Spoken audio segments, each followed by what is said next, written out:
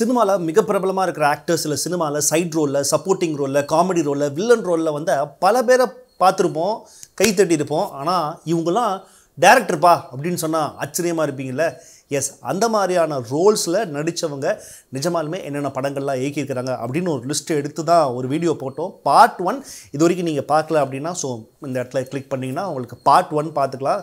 கமெண்ட்ஸ்லேயே வந்து இவரை விட்டுட்டீங்க இவரை விட்டுட்டீங்க அப்படின்லாம் சொல்லியிருந்தீங்க. அதெல்லாம் உங்களுக்கு தெரியும் அப்படின்றனால தான் அவரெல்லாம் அந்த வந்து நான் பர்பஸ்ஃபுல்லாகவே விட்டுட்டேன். சில பேர் ஃபேக்சுவல் எரர்ஸ் இருக்குது அப்படின்னு சொல்லியிருக்கிறீங்க. அதையும் என்னென்னு சொல்லிட்டிங்கன்னா திருத்திக்கிறோம். இப்போது இதில் பார்ட் டூ பார்க்க போகிறோம் வணக்கம் and welcome to cinema Khichdi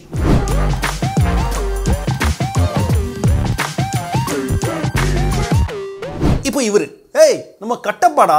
ஏ சத்யராஜ் சார்ரா? அப்படின்னு எல்லாருக்கும் இப்போ யோசிப்பீங்க. நைன்டிஸ் கிட்ஸ்க்கு வேணால் ஓரளவுக்கு ஞாபகம் இருக்கும். டூ கே கிட்ஸ்க்கு சுத்தமாக தெரிஞ்சுக்கிறதுக்கு வாய்ப்பே இல்லை. சத்யராஜ் சாரும் ஒரு படத்தை டைரக்ட் பண்ணியிருக்கிறாரு அந்த படத்தோட பேர் வில்லாதி வில்லன் நக்மா. ஒரு செம்ம பாட்டு வேற இருக்கு அதில். அடுத்ததாக பார்க்க போகிறது ஏய் நாட்டாம் சரத்குமார் இவர் எப்பரா படம் டைரக்ட் பண்ணார்? இவர் எங்கடா படத்தை டைரக்ட் பண்ணார்? அப்படின்னு கேட்டிங்கன்னா இதோ இக்கடச்சூடு அவரோட நூறாவது படமான தலைமகன் படத்தை சரத்குமார் தான் டைரக்ட் பண்ணார். நயன்தாரா அப்போ வந்து வளர்ந்து வந்த காலகட்டத்தில் நயன்தாராவை ஜோடியாக போட்டு பிரமாதமான அந்த ஒரு படத்தை டைரக்ட் பண்ணார் நூறாவது படம் பட் படம் ஓடலை. லிஸ்ட்டில் அடுத்து பார்க்க போகிறது ஏய் இவர் இந்த அரசியல் மீட்டிங்லாம் பேசுவாரா? சோடா? அப்படின்னு கேட்டிங்கன்னா எஸ் இவரும் ஒரு அரசியல் சட்டையர் படத்தை டைரக்ட் பண்ணியிருக்கிறாரு. அந்த படத்தோட பேர் முகமது பின் துக்லக் அப்படின்னு சொல்லிட்டு ஒரு படம். அடுத்து நம்ம பார்க்க போகிறது ஏய் நம்ம கோபி சீரியல் அடிக்கிறவரா நாதசுர சீரியலில் கோபியோட அப்பாடா? அப்படின்னு ஒரு செட்டாருக்கு தெரியும். இன்னொருத்தவங்களுக்கு சினிமா விரும்பிகளுக்கு நகைச்சுவை பிரியர்களுக்கு இவர் மௌலி சார். ஒரு மிக பிரமாதமான டேரக்டர் அண்ட் மிக பிரமாதமான ஆக்டர் ஒரு ஆக்டிங்கில் பிரித்து மேஞ்சு அசால்ட் பண்ணிடுவார்னு தெரியும். இவரும் சூப்பர் ஹிட் படங்களை டைரக்ட் பண்ணியிருக்கிறாரு. இவருடைய முதல் படம் நன்றி மீண்டும் வருக அப்படின்ற ஒரு படம் டைரக்ட் பண்ணியிருக்கிறாரு. அடுத்து கமல்ஹாசனை வச்சு பம்மல் கே சம்பந்தம் டைரக்ட் பண்ணியிருக்கிறாரு. மாதவன் வச்சு நலதமயந்தி டைரக்ட் பண்ணியிருக்கிறாரு. தெலுங்கு படங்களும் டைரக்ட் பண்ணியிருக்கிறாரு. ஒரு சூப்பர் ஆக்டர் ஒரு பிரமாதமான டைரக்டர் அடுத்ததாக நம்ம பார்க்க போகிறது the next man you're going to see S அப்படின்னு சொன்ன உடனே ஞாபகம் வந்துடும் இவர் தான் மேஜர் சுந்தரராஜன் தமிழ் இங்கிலீஷ். இப்படி ரெண்டுத்தையும் மாற்றி மாற்றி ஒரே டயலாகே பேசுகிறவர் அப்படின்ற ஒரு பொதுவான ஒரு காமெடி இருக்குது நம்ம தமிழ் சினிமாவில் மேஜர் சுந்தரராஜன் சார் ஒரு பழைய ஆக்டர் நைன்டீன் சிக்ஸ்டீஸ் செவன்ட்டீஸில் ரொம்ப பாப்புலரான ஒரு வில்லன் ஆக்டர் ப்ளஸ் சப்போர்ட்டிங் கேரக்டர்லாம் பண்ணவர். இவர் கமல்ஹாசனை வச்சு ஒரு படம் டைரக்ட் பண்ணியிருக்கிறாரு. அந்த ஒரு நிமிடம் ஒரு சஸ்பென்ஸ் த்ரில்லர் படம் தான் அந்த ஒரு நிமிடம் அந்த படத்தை டைரக்ட் பண்ணவர் மேஜர் சுந்தர்ராஜன். அடுத்ததாக இவங்க ஏய் ஸ்ரீபிரியா பழைய ஆக்ட்ரஸ் பா ரஜினியோட ஜோடியாக வச்சுருக்காங்கப்பா கமல் ரஜினியோட அப்படின்னு எல்லாருக்குமே தெரியும். இவங்க பிரபா பிரம் பயங்கர ஃபேமஸான எயிட்டிஸில் இருந்த ஒரு தமிழ் சினிமாவில் ஒரு நம்பர் ஒன் ஆக்ட்ரஸாக ஹீரோயினாக இருந்தவங்க.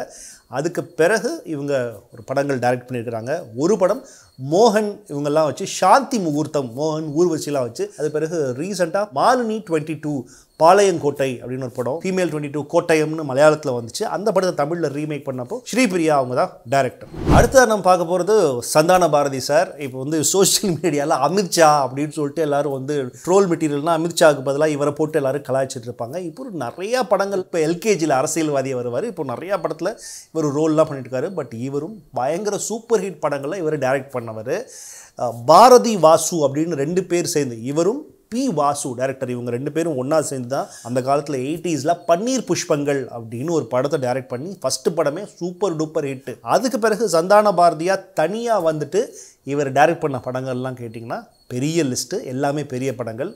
கமல்ஹாசனோட சேர்ந்து குணா அது பிறகு கமல்ஹாசனோட மாஸ்டர் பீஸ்னு சொல்லப்படுற மகாநதி அப்புறம் நம்ம பிரபு சுகன்யா இவங்கெல்லாம் வச்சு ஒரு செம்ம காமெடி படம் இருக்கும். சின்ன மாப்பிள்ள அப்படின்னு ஒரு படம். அந்த படத்தை டைரக்ட் பண்ணதும் டைரக்டர் சந்தான பாரதி தான். இன்றைக்கி தான் அவருக்கு ஆக்டராக அறியப்படுபவர்.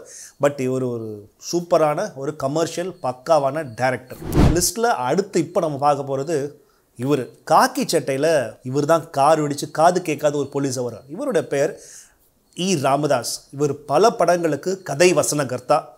அதை தாண்டி இவர் நாலு படத்தை டைரக்ட் பண்ணியிருக்கிறாரு சார் என்ன சொல்கிறீங்க இவர் பல படத்தில் நாங்கள் இப்போ நிறைய படத்தில் இவர் பார்த்துருக்கோம்.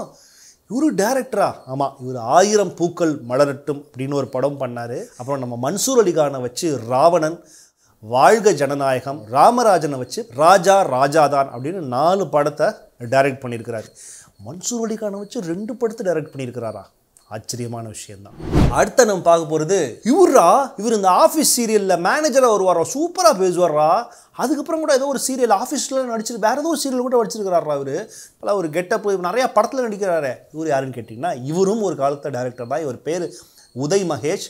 இப்போ இருக்கிற டிவி பார்க்கலாம் ஆஃபீஸ் சீரியல் மூலமாக தான் இவர் பயங்கர ஃபேமஸ் ஆனால் இவர் ரெண்டு படம் டைரக்ட் பண்ணிக்கிறாரு ஒன்று நம்ம நட்டி வச்சு நாளை அப்படின்ற ஒரு படமும் சக்கர வியூகம் அப்படின்னு ரெண்டு படம் டைரக்ட் பண்ணியிருக்கிறாரு பட் அந்த படங்கள் ரெ- ரெண்டுமே பெருசாக பேசப்படல. அதுக்கப்புறம் சீரியலில் வந்து இப்போ சினிமாவில் வந்து கொஞ்சம் பிஸியான ஆக்டராக மாறிட்டார்.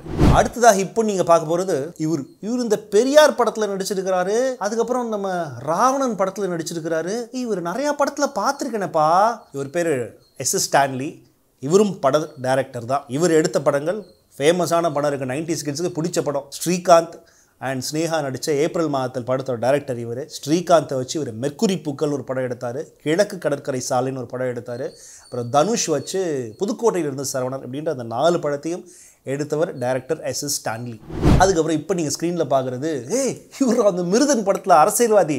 லக்ஷ்மி மேனனுக்கு அப்பாவா வருவார் அஹூர்ரா செம்ம காமெடியாக பேசுவார் ஒரு குரலே வித்தியாசமாக இருக்கும்டா அப்படின்னு நம்ம எல்லாம் பேசிப்போம். இவர் படத்தில் வந்தால் ஒரு ஒரு மாதிரி பதட்டமான ஒரு ஆளாக தான் எல்லா படத்துலையும் காமிச்சிருப்பாங்க.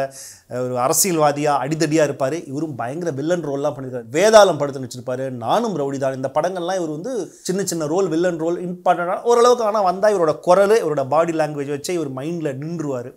இவர் ரெண்டு படங்களை டைரக்ட் பண்ணியிருக்கிறாரு. இவர் நக்குல் வச்சு மா சுனைனா வச்சு மாசிலா மணி அப்படின்னு ஒரு படம் வந்துச்சு. அந்த படத்தை டைரக்ட் பண்ணவர் இவர் தான் ஆர்என்ஆர் மனோகர். அதுக்கப்புறம் நந்தா வச்சு வெள்ளூர் மாவட்டம்னு ஒரு படம் எடுத்தாங்க. படம் பெருசாக ஓடலை. ரெண்டு ரெண்டு படத்தையும் டைரக்ட் பண்ணவர் இந்த டைரக்டர் ஆர்என்ஆர் மனோகர். அடுத்து நம்ம பார்க்க போகிறது இவர்.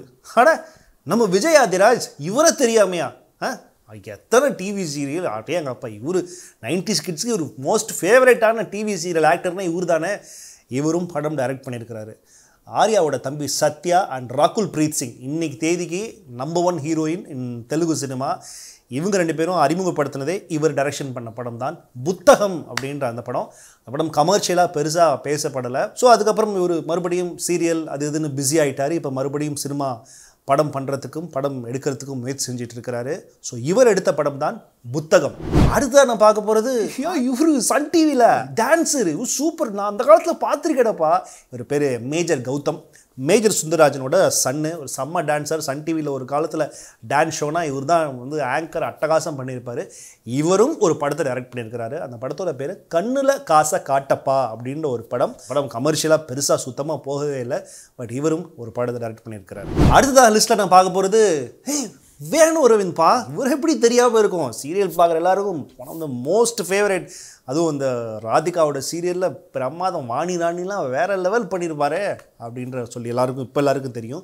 பட் இவரும் ஒரு படத்தை டைரக்ட் பண்ணியிருக்காரு ரெண்டாயிரத்தி பதினொன்றில் ஜெயராம் வச்சு சபாஷ் சரியான போட்டி அப்படின்னு ஒரு படம் டைரக்ட் பண்ணியிருக்காரு பட் படம் வந்ததுன்னு தெரில பட் இவரும் ஒரு படத்தோட டேரக்டர் தான். ஸோ இப்படி நிறைய பேர் இந்த லிஸ்ட்டு இது பார்ட் டூ பார்த்துருப்பீங்க. அடுத்து இதில் பெரிய முகங்கள் பெரிய ஃபேமஸான ஆக்டர்ஸும் இருக்காங்க. இப்போ அடுத்த பார்ட் த்ரீயில் கொஞ்சம் பிளாக் அண்ட் ஒயிட் போயிட்டு யாரெல்லாம் என்னென்ன படங்கள் டேரக்ட் பண்ணியிருக்கிறாங்க அப்படின்னு ஒரு லிஸ்ட்டை எடுக்கலாம் அப்படின்னு ஒரு யோசித்தேன் அது பார்ட் த்ரீயில் வரும். ஸோ பார்ட் டூவில் ஓரளவுக்கு முக்கியமான லிஸ்ட்லாம் நான் கவர் பண்ணியிருக்கிறேன். இன்னும் பார்ட் த்ரீயில் விட்டு போன லிஸ்ட்டையும் நான் அடுத்த பார்ட் த்ரீயில் வந்து சொல்கிறேன் ஸோ இந்த வீடியோ பிடிச்சிருந்தா லைக் பண்ணுங்கள் அண்ட் ஃபேக்சுவல் எரர்ஸ் இருந்துச்சுன்னா முக்கால்வாசி இருக்காதுன்னு நினைக்கிறேன். இருந்துச்சுன்னா கமெண்ட்டில் மென்ஷன் பண்ணுங்கள் அண்ட் சேனலை சப்ஸ்கிரைப் பண்ணி பெல் ஐக்கானை ப்ரெஸ் பண்ணுங்கள் நன்றி. வணக்கம்.